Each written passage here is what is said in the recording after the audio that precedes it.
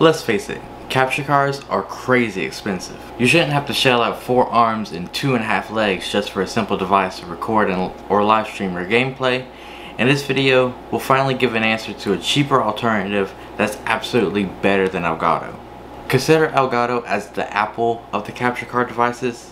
Yeah, it works and the software is nice, but you'll be paying for the software rather than the hardware itself. Let me introduce you to this guy. This is the HD game streaming capture card. What a wonderful name and not generic whatsoever. Now for $80, this is an amazing and straightforward plug and play solution that I should say.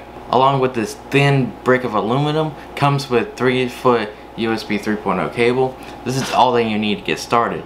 No long software install times and no tinkering. Almost true plug and play action.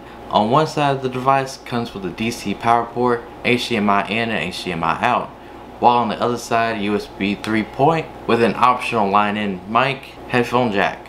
The only physical setup you'll need is plugging the HDMI single into what you want to capture into the HDMI in port and then the HDMI out leading into the monitor that you natively want to use instead of having to rely on your capture software. I've never used an Elgato capture card personally, but this capture card has a very low delay, so technically you could use it through your capture card. Now that isn't favorable, but if you don't have any other monitor, then you aren't completely in the dark. Now look forward to some games, game streams and videos coming up on our new channel. More information coming up soon.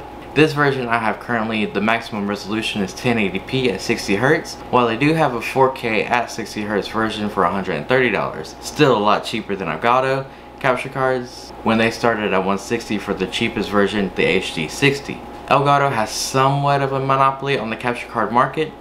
Yeah, you could go with the cheaper option, but you won't be hardcore. But with this capture card, we could change all that.